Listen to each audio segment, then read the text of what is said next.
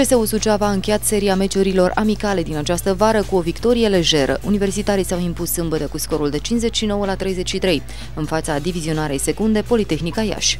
Handbaliștii pregătiți de Petru Ghervan și Răzvan Bernicu au condus la pauză cu 17 la 11, iar până la finalul celor 60 de minute și-au dublat avantajul scor 38 la 26.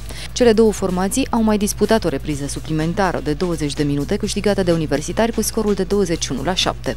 CSU Suceava va debuta la sfârșitul acestei săptămâni într-un nou sezon al Ligii Naționale de Handbal Masculin. Studenții vor primi sâmbătă de la ora 17 vizita vicecampioanei Știința Bacău.